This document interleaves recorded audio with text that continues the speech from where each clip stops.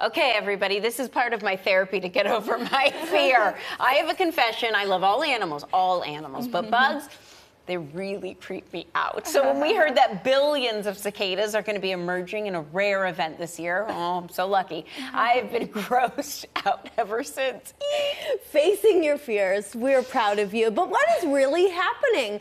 Today we invited Dr. Matula, assistant professor and extension specialist at the University of Tennessee to clear uh, some things up for us. Now, is it really true that we're getting double the amount of cicadas this year? You are right. So uh, cicadas are insects that has the longest development time or they have the longest life cycle. Mm -hmm. So they live like 13 years or 17 years underground as immatures. That means as larval forms. And uh, so the double brood that you're talking is like, yeah, it's, it's, we are witnessing that both these broods are coming. But unfortunately, we are not going to see that in Tennessee. Yeah.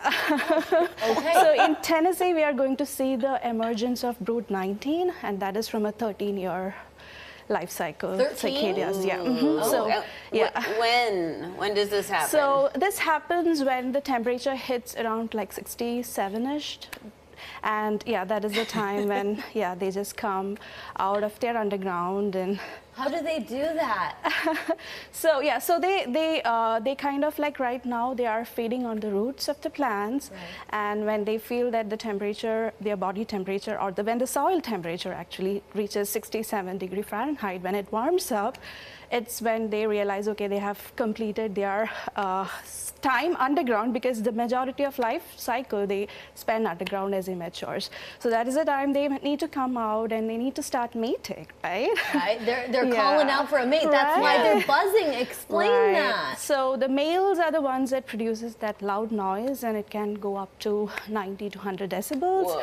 And yeah, so they do in order to attract their mates. So the females, uh, whenever she feels that, okay, this is the one, she's going to snap her wings and that is how the, how, that is why they just want to come out. what does do she do with the wings? So she just snaps. Snap? Oh, like makes the noise? Oh, yeah. Wow. And why do they um, shed basically their skeleton right. or exoskeleton. Correct. So insects, as I mentioned, they are living underground as immatures, right? So insects, they undergo different processes. It's called molting. Mm -hmm. So when they come up, they are still like in the larval stages and they need to shed their uh, nymphal exoskeleton so that they can become like molt into adults. So that is why they leave behind, once they are out from the ground, they leave behind whatever is left because they need to become adults. So that is a process, yeah. Um, mm-hmm. in the process. But some good news for Larissa and those also scared of bugs, which I'm very proud of you for I holding know. this box right now.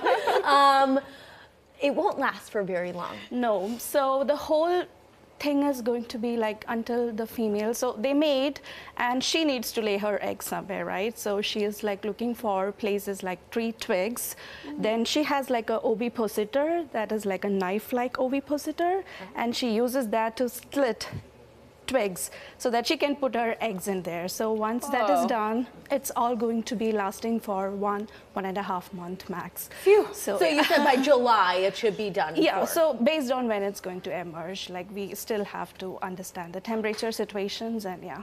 Okay, month oh, and a half. We can handle I love Thank the noise. You. I think it's soothing. it's like meditative. Thank right. you so much, Doctor. It is going to be a wild spring.